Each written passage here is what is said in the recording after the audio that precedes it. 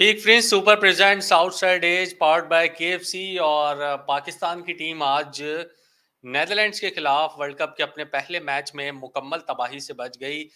तीन विकटें गिर गई थी पाकिस्तान जब नेदरलैंड ने पाकिस्तान को टॉस जीतकर बैटिंग की दावत दी तो 38 रन पर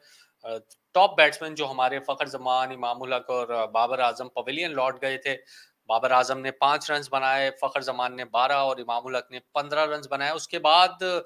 वर्ल्ड कप में अपना पहला मैच खेलने वाले सऊद शकील और मोहम्मद रिजवान, जो कि काफ़ी तजर्बेकार हैं, वो भी 50 ओवर वर्ल्ड कप में अपना पहला मैच खेल रहे थे। ज़बरदस्त परफॉर्मेंस का मुजाहरा किया, अड़सठ अड़सठ रन बनाए और सऊद शकील ने बावन गेंदों पर अड़सठ रन बनाए, जबकि मोहम्मद रिजवान ने भी अड़सठ रन की इनिंग्स खेली और पाकिस्तान इसकी वजह से दो सौ छियासी रन तक पहुँचने में कामयाब हुआ। इसमें मोहम्मद नवाज़ के उनतालीस रन और शादाब खान के बत्तीस रन ने भी किरदार अदा किया। इफ्तार अहमद आज नाकाम हुए ज़्यादा रन नहीं कर सके। पाकिस्तान जो है वो दो सौ छियासी रन तक पहुँच गया, लेकिन ये दो सौ छियासी रन शायद नेदरलैंड्स के खिलाफ काफ़ी हो जाए, शायद हम नेदरलैंड्स के खिलाफ जीत जाएँ, दो रन बनाकर। लेकिन जो आगे टॉप टीमें आ रही हैं, जिसमें इंग्लैंड ऑस्ट्रेलिया इंडिया न्यूजीलैंड की टीमें हैं, जिस तरह हमने कल क्रिकेट देखी न्यूजीलैंड की तो ये दो सौ छियासी रन मेरे ख्याल है इतना कोई कारामद साबित नहीं हो सकेंगे। और दूसरा, आज जो पिच रिपोर्ट थी, उसमें शेन वॉटसन ने कहा था कि ये 200 350 रन के पिच है और जो सात वनडे हैदराबाद के मैदान में खेले गए हैं, सात में से पाँच वनडे ऐसे हैं जिसमें से 300 से जायद रन स्कोर हुए। तो इस हिसाब से जब बाबर आज़म से सवाल हुआ तो उन्होंने 290 280 का ज़िक्र किया जो पाकिस्तान ने बना लिया, लेकिन पिच जो है वो साढ़े तीन सौ रन की थी। अभी भी अगर हम ऊपर से ब्रेक थ्रू नहीं मिलता है, शाहीन शाह अफरीदी या हसन अली विकटें नहीं लेते हैं तो पाकिस्तान अभी भी मुश्किल में आ सकता है, लेकिन फेवरेट अभी भी पाकिस्तानी है क्योंकि बॉलिंग बेहतर है हमारी और नेदरलैंड की टीम सामने दो सौ छियासी रन बोर्ड पर लगे हुए हैं। लेकिन शायद ये रन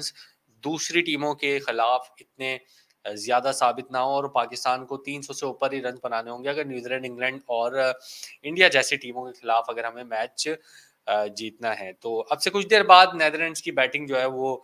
शुरू हो जाएगी। सऊद शकील की हम बात कर रहे थे वर्ल्ड कप का उनका पहला मैच है। बहुत ज़्यादा बहस भी हुई कि यार आगा सलमान को खिलाएँ या सऊद शकील को खिलाएँ नंबर पाँच पर। आखिरकार ये फैसला हुआ, जैसे मैंने कल आउटसाइड एज में भी ज़िक्र किया था कि इंजमाम काफ़ी देर बैठे रहे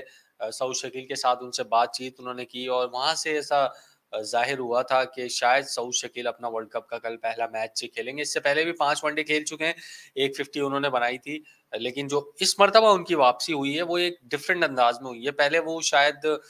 इतना फ्रीली और इतना एग्रेसिव नहीं खेलते थे उनको रेड बॉल स्पेशलिस्ट भी कहा जाता था और स्ट्राइक रेट शायद उनका लिमिटेड ओवर्स क्रिकेट में इतना अच्छा नहीं था, लेकिन उसके बाद जब वो वापस आए टेस्ट क्रिकेट में खास तौर पे टेस्ट क्रिकेट में भी उनका स्ट्राइक रेट बहुत अच्छा है और आज जो उन्होंने 130 के स्ट्राइक रेट से बैटिंग की और काउंटर अटैकिंग इनिंग जब आपकी अड़तीस रन पर तीन विकेटें गिर जाती हैं तो फिर आप डिफेंसिव चले जाते हो, लेकिन उन्होंने काउंटर अटैक किया और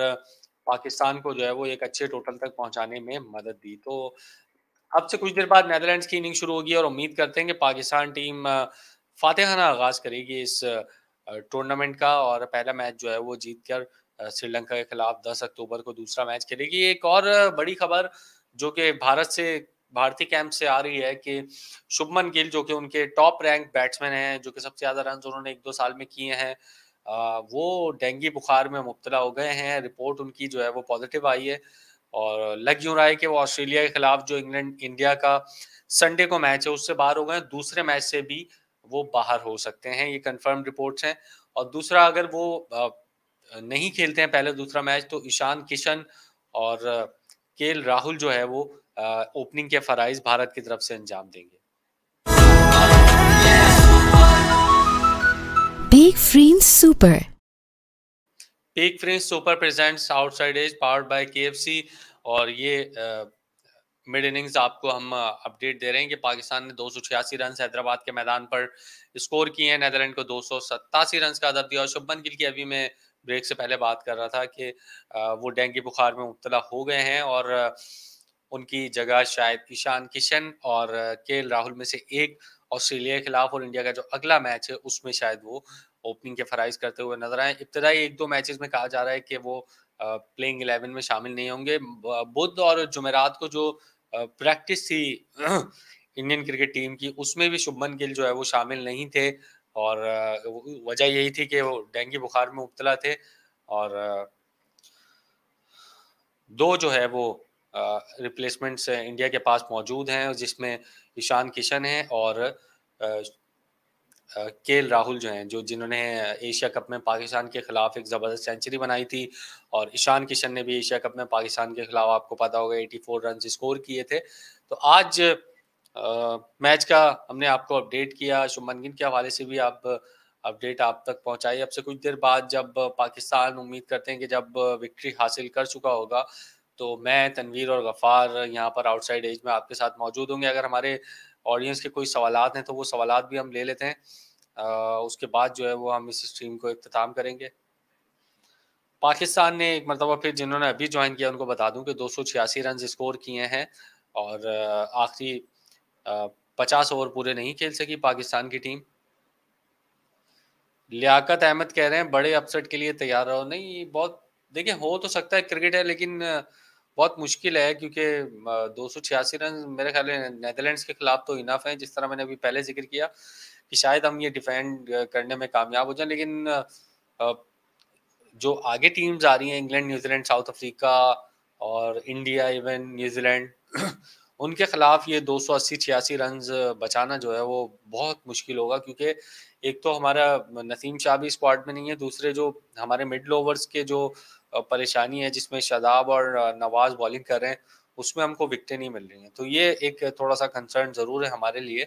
लेकिन मुझे लगता है कि पाकिस्तान की टीम आज तो मैच बचाने में कामयाब हो जाएगी, लेकिन आगे जाके इनको 300 से जायद रन जो है वो स्कोर करने पड़ेंगे। तो ये अभी तक की अपडेट थी big friends super presents outside edge में पार्ट बाय के और आगे जाके हम आउटसाइड एज में एक मतलब फिर आएँगे, जिसमें तनवीर गफ़ार और हम सब तीनों साथ होंगे, मैच पर गुफ्तु भी करेंगे पूरे मैच का एनालिसिस भी करेंगे और तनवीर ने जिस तरह कल कहा था कि सऊद शकील जो है वो सेंचुरी या फिफ्टी स्कोर करेंगे, जो हमने प्रिडिक्शन दी थी, उसमें तनवीर जो है वो सही साबित हुआ और आज उन्होंने सिक्सटी एट रन स्कोर किए अपने वर्ल्ड कप के पहले मैच में। तो जैसे ही मैच इख्ताम होगा, वैसे ही हम दोबारा से लाइव आएँगे। आप सब लोग अपने सवाल तैयार रखिएगा, जो भी आपके सवाल हैं और जो भी आपकी गुफ्तु है, उसमें हमारे प्रोग्राम में शामिल होइएगा। तब तक के लिए अल्लाह हाफिज़।